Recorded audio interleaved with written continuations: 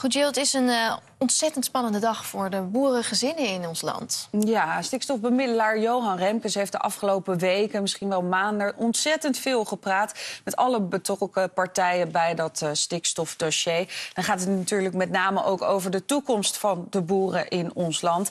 Vandaag komt de conclusie uit al die uh, gesprekken en, en het kabinet gaat ook een belangrijk deel van het stikstofbeleid daarop baseren.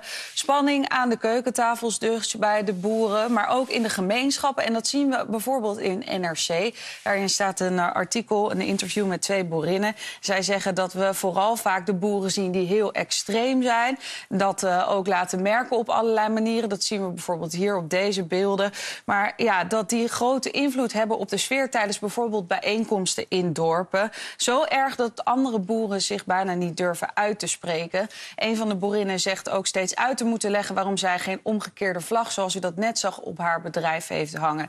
Ze zegt, uh, ja, ik, ontsnap, ik snap het ontbreken van perspectief. Ik heb er zelf ook weinig vertrouwen in. Maar ja, wij boeren moeten tegelijkertijd ook gaan uh, bewegen. Dat begrijpen heel veel boeren ook. Maar de excessen die vallen dan toch weer meer op. Is dit herkenbaar? Ja.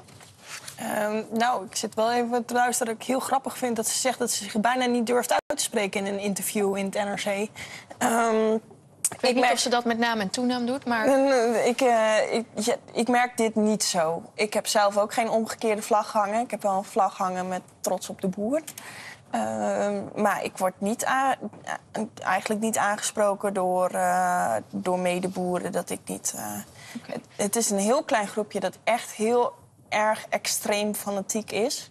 En daar heb ik me ook wel tegen uitgesproken. Want ik ben niet voor brandstichting langs de snelweg. En ook niet voor blokkeren van snelwegen.